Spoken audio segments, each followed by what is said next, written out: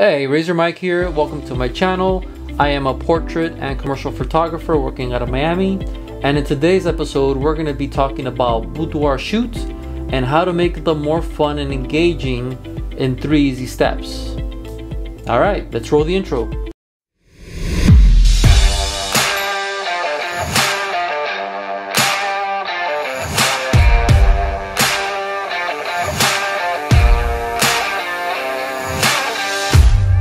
Before we get into the three easy steps, first we have to get organized, right? So the very first thing that a client might need or is good for them to have would be a checklist. The checklist is basically a series of steps that you give the client of what is going to happen. What are the next steps in this process of this boudoir session? Chances are this could be your client's first time ever doing this type of shoot. Maybe they've done portraits before, just family portraits or other type of shoots, but not boudoir, right? So boudoir is definitely different.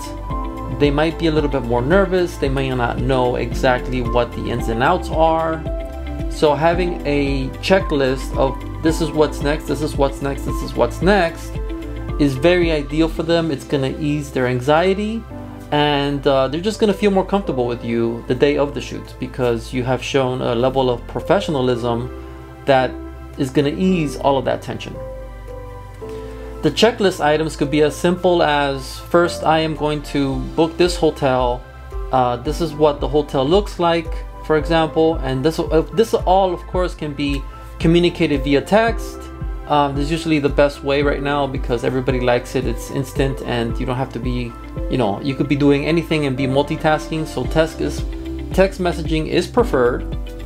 Um, so that's one thing you could do is kind of set you know this is the room we're booking. Okay the book the room has been booked. Check.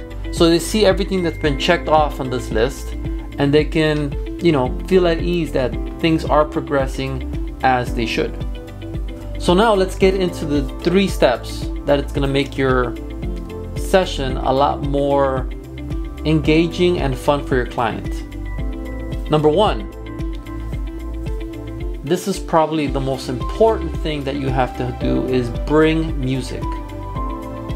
Bring music that suits the scene, right? So I like to, I have a playlist on Spotify that is boudoir music. And this is kind of like sexy, uh, slow paced type of music that's gonna help ease them into that mood that you want to capture, right? So you don't want to play any hip hop, you don't want to play any rave, you don't want to play any rock, um, because it just doesn't suit the mood, right? You're trying to get that sexiness, that sensuality out of them. Um, so you want something that's very slow paced, uh, very relaxing, very mellow. That's what you want to basically introduce in this section. Tip number two would be um, bring wine. I know, I know, I know what you're gonna say. Oh my god, we shouldn't be giving alcohol to... Guys, a, a, a cup of wine is good, okay? I'm not saying that she needs to get, you know, completely buzzed up, but a cup of wine, a simple cup of wine will ease her nerves. It will relax her a little bit. She's gonna be more tense. Because um, remember, most of the time, the best shots that we get is towards the end of the shoot. Why is that? Of course, at the end of the shoot, she's a little bit more relaxed. She's been warmed up. You have all of these shots that you've taken of her. So she's to give you her best at the end because she's more relaxed. But what if we got her relaxed at the beginning of the shoot, right? Then that means that you're going to have a lot more opportunity to capture a lot more golden shots than towards the end. So that's why a cup of wine is greatly going to help your client get comfortable and relaxed early to be able to get more great shots of them. Along with the wine, you should also bring little snacks. So I personally bring granola bars.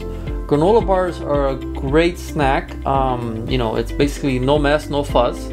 Everybody loves granola bars, and it does satisfy any type of little hunger cravings that you may have. All right, guys, number three, and this is obviously for you and for them well, primarily for you, but it's it's gonna help you pose them, is bring concept shots, right? So shots that you want to do shots that you want to take, shots that inspire you. You want to bring those to the shoots. Um, put them on your phone, right? Put them on your phone. Um, that way you can kind of show them, hey, listen, you know, I want you to, you know, you set the mood first, right? You say, okay, I want you to pretend X, Y, and Z. I want you to go ahead and, you know, make a motion, uh, caress your skin, caress your face with the back of your hand, etc., etc. You want to give them some guidance as to what the scene is, and then show them basically concept, right? This is what this is the shot that we're going for, right? And what that's gonna do is it's gonna help. Obviously, it's gonna help you remember the shots that you want to take because it's your shot list and it's going to help them because you're sharing the vision, right? They know how to pose, they have a better idea of what the end result is. Well, that was fun. Thank you for listening, and go ahead and hit the subscribe button so we can sync up again. All right? I'm out.